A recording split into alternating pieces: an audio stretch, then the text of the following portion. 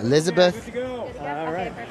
Swaney from Hungary, out of Oakland, California now. 34th in the World Cup, 13th in the half pipe at Secret Garden earlier in the year. What can she deliver on here in Pyeongchang? Liz Swaney dropping in, trying to get into this right wall for a nice, just getting up to the top of the wall, going for these grabs, the safety grab you'll see there, and then opting for another, just cruising up to the top of the wall, showing the judges she can make it down this half pipe clean. Going for the alley-oop spin down at the bottom, onto the left, and then a nice cruise 360 to switch, trying to show that she has a little style down at the bottom.